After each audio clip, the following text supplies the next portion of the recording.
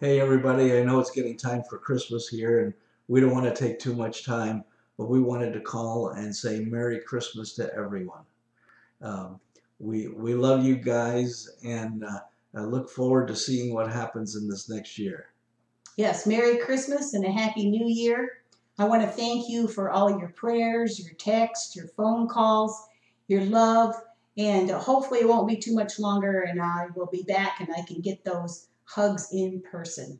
So, as we start 2022, I want us to be prepared, fresh mind, new times. I mean, 2020, we've had our issues. 2021, certainly people had issues. So, as we're starting this new year, it's a new time. It's a time for victory. And so I want us to enter this new year, this year of 2022, with victory in our minds and in our sights ahead.